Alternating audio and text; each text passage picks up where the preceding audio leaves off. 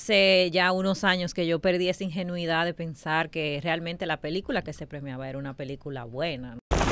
Y el color no debería estar. No debería, no ser debería estar en el diálogo en ningún No. momento. El color de nadie. Óigame, hermano, si hay, si, si por 10 años, si en 10 años la mejor actuación en, en- en estos 10 premios blancos. y en cualquiera son 10 blancos, porque son 10 blancos.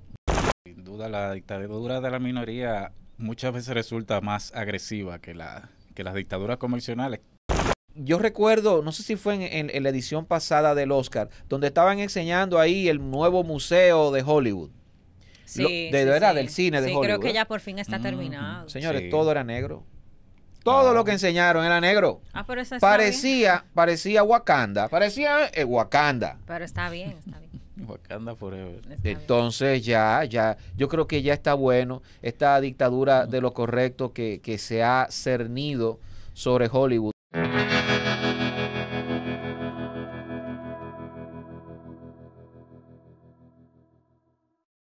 La verdad es que se han abierto dos frentes desde el año 2016 con el Oscar, quienes sabemos que los lobbies deciden los premios, la combinación de lobbies y de la eh, política, ¿no?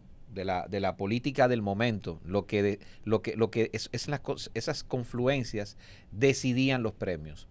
Pero ahora hay un tercer frente que no nos gusta.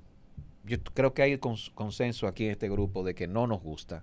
Las minorías han hecho tan evidentes sus reivindicaciones que ahora se han vuelto dictadura. ¿Qué creen del tema? Díganme. Sin duda, la dictadura de la minoría muchas veces resulta más agresiva que, la, que las dictaduras convencionales, quizá por la por las ansias de, y, la, y la represión de, de- tiempo y de, y de lograr cosas. Cuando, cuando se imponen eh, tienen más, más peso que la dictadura ya tradicional. Y está pasando eso en los, en los entornos del espectáculo, está pasando. Yo no sé si está pasando en la, en la vida real, en, la, en las políticas, en la sociedad, pero por lo menos Claro en, que los, no. en los entornos del espectáculo se está dando, se están dando unas reivindicaciones que esperemos sirva de algo, qué sé yo. Es que eh, cuando uno habla de la apreciación, y bueno, lo- el Oscar se trata de una premiación, se supone. Hace ya unos años que yo perdí esa ingenuidad de pensar que realmente la película que se premiaba era una película buena, no era película que tenía un- un- unos cánones y que respetaba, exacto, un lenguaje cinematográfico, pero que a la vez como que aseguraba eh, eh, un- su calidad le aseguraba pasar eh, la prueba del tiempo, ¿no? Y que, y que iba a ser un gran clásico en ese sentido, porque bueno, fue premiado por la academia, porque la, la verdad hay que decirlo, ¿no? El Oscar Sí. y la academia es un premio aspiracional importante para todo el mundo. Y en la víspera de su entrega, todo el mundo eh, relacionado con el cine se vuelca a hablar del Oscar y a, a perder su tiempo en eso, ¿no? Pero como dice mi mamá, hay que llenar los minutos del día con algo. Claro. Bueno, nos toca No, crear y- este y contenido. Es, nuestro Claro. tema con todo y todo nuestro tema. así que Claro hay que, que hablar sí. del Oscar. Pero fíjate que uno se pone a pensar las nominadas y, y bueno, mejor película. Y ciertamente para la ponderación uno dice, bueno, pero mira, eh, All Quiet eh, es una película alemana que es de una guerra, pero, pero ahora mismo hay una guerra, pero esa no es una guerra que ellos están apoyando. Porque quien está en el, en el gobierno son los demócratas y los demócratas fue quien incitaron eso. O sea, todas las cosas que entran en juego para uno poder decir, yo creo que puede ganar esta, se circunscribe ahora eh, si es afroamericano o no. Si es latino. Creo que le- los latinos estamos muy flojos en nuestro lobby. Sí, la reivindicación latina está pendiente todavía. Sí, no- nosotros no, no tenemos como ese power, a Sí. nosotros no nos exigen eso. Si logramos colarnos, dice, eh, pero hay un latino. Pero Sí. no es que debe de haber un latino, no. Si hay un afroamericano, si hay alguien de la comunidad LGBTQ representado, bueno, son una especie es de checklist que hay para que la película pueda quedar, que la película pueda ser eh, ponderada más allá. Entonces, eh, quienes lo evalúan eh, como dijo Edwin, pasaron por la pena en el Oscar So White de que la gente se dio cuenta, wow, pero tú no premiaste a nadie, qué sé yo qué. Entonces ya después de ahí hay como un, una cuota que hay que cumplir más allá de las películas. Señores, en la en el Oscar de este año, en el acápite de mejor actriz, ¿cuál es para ustedes la mejor performance de las mujeres? Kate Blanchett. Sin duda, Kate Blanchett es la que la que te llega a la mente como la más imponente. Se habla mucho de, ya entrando ya en lo, en lo que se habla, porque siempre está esa, esas dos vertientes de lo que tú piensas, lo que tú entiendes. Lo que se dice y lo que se y lo que se dice, exactamente. Está bien, Harry Ramírez. Se habla de, de esta muchacha Michelle Yeoh, pero vamos a ver si con la hablando de lo que hablábamos al principio de las las motivaciones políticas de los premios, Sí.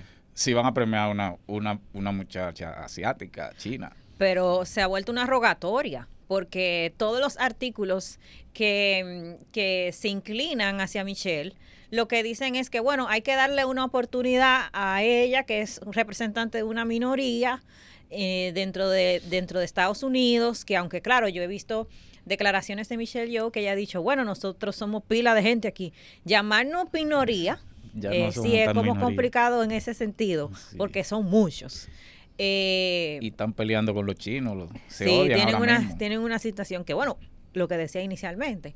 Pero, por ejemplo, este, ahora lo que hay es el hecho de que eh, no podemos valorar a Kate Blanchett, mejor démosle la oportunidad a Michelle, porque ya Kate Blanchett tiene dos Oscars y es blanca.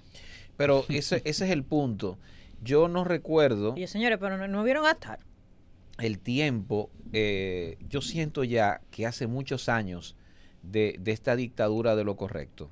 Y fue para 2017, 2016, por ahí, que la cosa empezó a, a cambiar, a girar hacia lo, lo- lo que debe ser correcto, ¿no?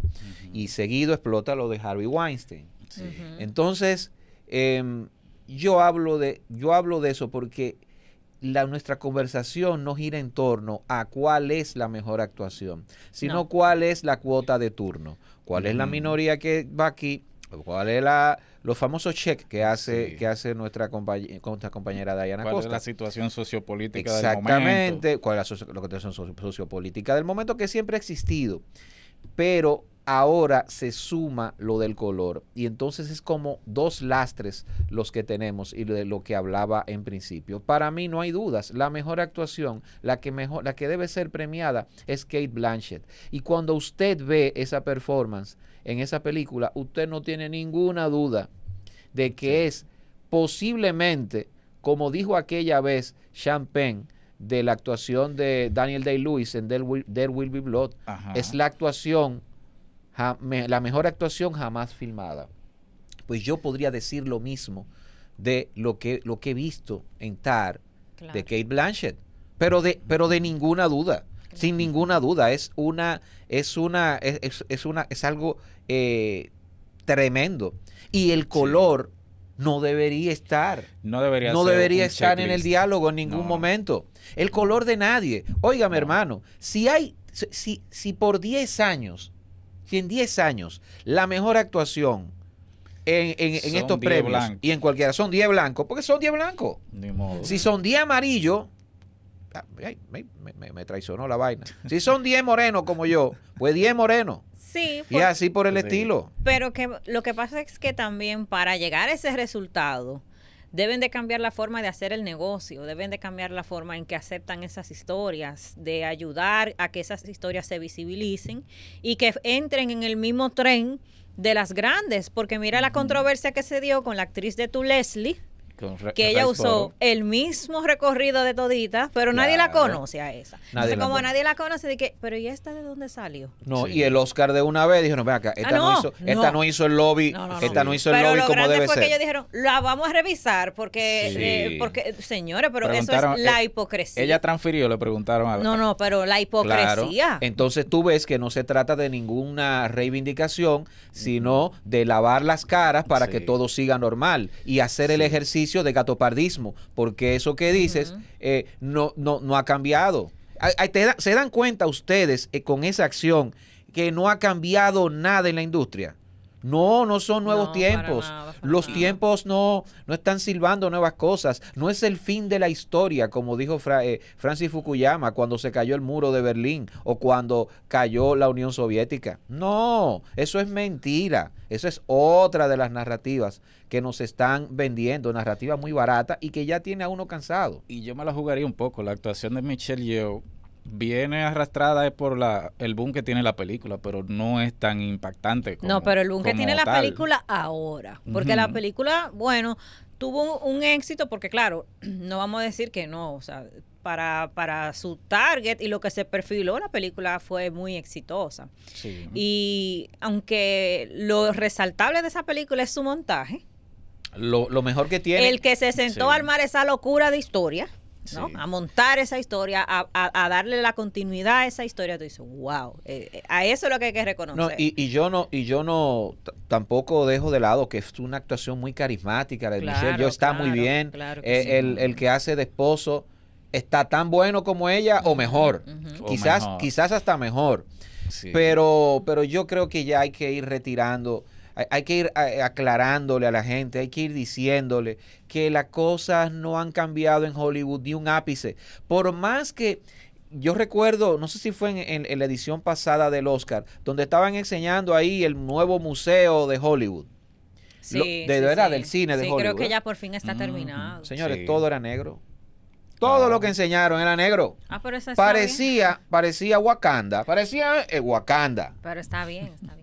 Wakanda Forever. Entonces ya, ya, yo creo que ya está bueno esta dictadura de lo correcto que, que se ha cernido sobre Hollywood, le- eh, nuevamente desnuda, desnuda esa, esas Eso. carencias morales que tienen, porque realmente no tienen ningún No, tipo hombre. de pudor. Es la misma mierdería que el, Star, que el Star System de los años Sí. 30, 40, 50. Es la misma vaina. Eso es dañino. Quizá un poco más aburrido porque no está esa historia behind, ¿verdad? No, Que- porque que ahora era medio que- divertido. No, lo que pasa es que Sí. ellos ahora pretenden como que le importa. O sea, pretenden, pretenden que verdaderamente ellos están haciendo un aporte tomando en cuenta esa- Ujú. esas historias. Cuando al final las ponen para abultar y su siempre va a ganar eh, su, su regla, ¿no? Lo que ellos siempre han premiado, Exactamente. salvo la, la desricadera de coda y ese tipo de cosas. ¿Tú me entiendes? Pero es que también, no sé, eh, eh, deben de llegar a un punto de revisarse, pero de verdad, no revisarse como los Golden Globes, no. Revisarse, revisarse. Se decía que, bueno, se tienen esos resultados porque ellos se eligen entre ellos mismos, porque no Sí. entra mucha gente a la academia. Y bueno, entraron, entraron eh, eh, un grupo de jóvenes, qué sé yo qué, que tal vez pueden apreciar otras cosas y pasa lo de tu Leslie. Exacto. Porque lo de tu mismo. Leslie es un- un- una película que la vio Charlize Theron, que la vio la misma Kate Blanchett y que hizo lobby para esa película la también. recomendaron. Y la recomendaron, y Sí. hicieron screening, qué sé yo qué, claro, es una película pequeña, ellos no son Netflix, que van a agarrar y van a fletear un avión y te van a llevar a París para que tú veas cómo se graba Emily en Paris. No, tú sabes. Pero bueno, eh, lo que nosotros tenemos que estar claro que no es que a ellos le importe mucho eso, sino que eso le genera dinero, la industria tiene que tener su responsabilidad social corporativa y deben de quedar bien. Eso es lo único que le importa. Sí, y la responsabilidad ética aquí en Cine Pendiente es decir estas cosas como son. El gato pardo es lo que debería estar proyectándose todo el día en, en los corrillos de Hollywood, donde todo cambia precisamente para que nada cambie.